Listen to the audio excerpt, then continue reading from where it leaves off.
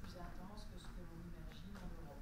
Les entreprises en particulier ont compris que euh, en protégeant la planète, c'est-à-dire en luttant contre les effets du dérèglement climatique et donc en s'engageant dans la transition énergétique et dans la croissance verte, il y avait de formidables opportunités de création d'activités et d'emplois. Donc on est en train de vivre une réconciliation entre euh, le développement économique et la protection de l'environnement. Ce que je retiens de tous les contacts que j'ai eus ici aux États-Unis d'Amérique, c'est que contrairement à ce qu'on pense, vu d'Europe, euh, c'est qu'il n'y a pas de blocage ici c'est en train de s'accélérer.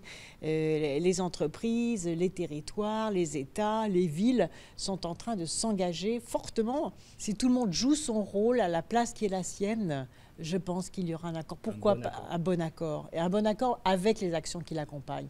Il faut bien comprendre que ce n'est pas seulement euh, un accord qui est recherché à Paris, c'est plus que ça.